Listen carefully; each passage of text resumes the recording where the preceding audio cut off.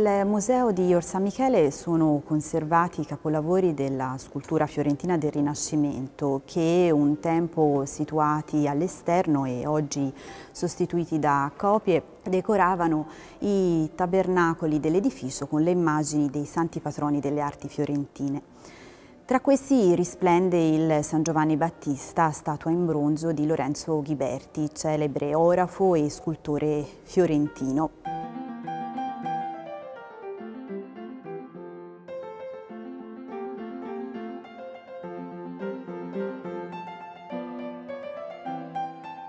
Il Battista è il santo patrono di Firenze, eh, ma lo era anche dell'arte di Calimala che commissionò eh, la statua per il proprio tabernacolo nel 1412.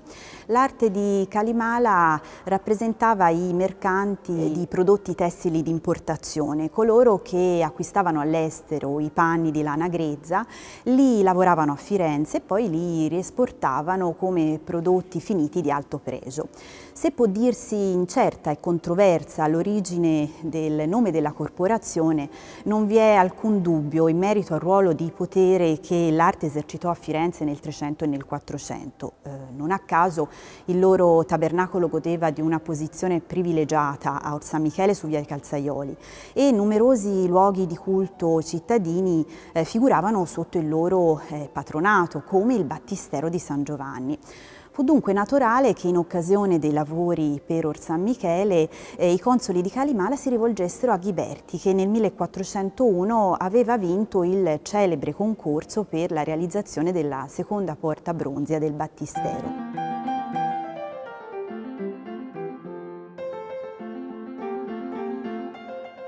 Quello tra Ghiberti e l'arte di Calimala fu d'altronde un sodalizio di eccezionale durata, 50 mm, anni eh, durante i quali l'artista fu impegnato nella fusione della porta nord e est e nella non meno ardita impresa per la statua del San Giovanni.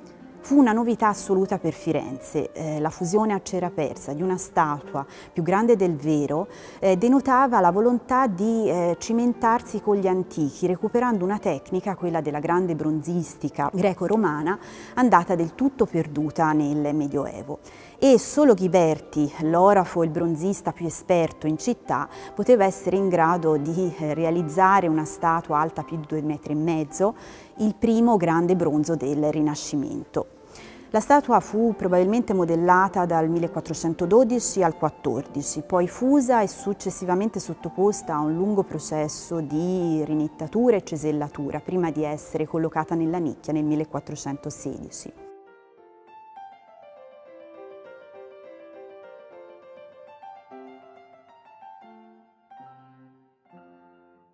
Nonostante la perizia tecnica del Ghiberti, l'artista era consapevole dei rischi, quindi sappiamo che anticipò personalmente le spese per i costi della fusione ed evitò di procedere con un unico eh, getto, ma come dimostrato eh, in occasione del restauro del 1994, eh, fuse separatamente alcune parti, come la testa, le mani, e poi le assemblò al corpo.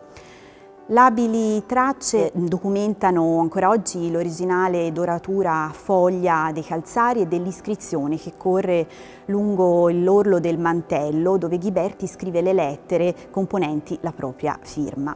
L'artista tiene a mente eh, il confronto con la statuaria classica, come rivela l'espediente tecnico della foglia d'argento applicata agli occhi per illuminare lo sguardo, ma anche i modi eleganti del gotico internazionale. In quest'ottica eh, si comprende l'interpretazione straordinariamente raffinata del Battista, rappresentato eh, non come il selvatico eremita vissuto nel deserto, ma quasi fosse un giovane aristocratico di una corte europea. Le ciocche della barba e dei capelli sono ben accomodate, il corpo ondeggia sinuosamente avvolto dalle pieghe del manto e eh, il pellicciotto di cammello, ricordo della sua vita eremitica, si trasforma in un elegante capo d'abbigliamento grazie al fiocchetto che lo ingentilisce.